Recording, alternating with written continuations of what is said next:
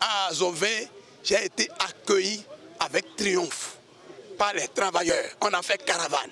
Et ça a fait peur au préfet, à tout le pouvoir, qui a rassemblé toute la meute des policiers du Koufo. Policiers qui ont même leurs 14 décrets suspendus et qui viennent me voir la nuit pour que je défende ça. Donc eux, ils étaient venus même parce que leur chef est là. Eux, ils pensent que c'est pour m'intimider et les policiers savent qu'ils sont venus respecter leur maréchal qui est venu. J'ai fini mon meeting, mon AG et je suis parti. Et parce que j'étais allé me restaurer quelque part, les gens ont vu mon chauffeur sans, et comment on appelle, sans, sans moi. Ils ont cru, surtout avec l'agitation des policiers, les gens ont cru qu'on pouvait m'arrêter. Non, on ne peut plus arrêter quelqu'un comme moi. Laurent maintenant est déjà en prison. Ils n'en ont pas terminé. Ils ne peuvent pas oser. Nous devons arracher Laurent et empêcher les arrestations politiques et les détentions politiques au Bénin.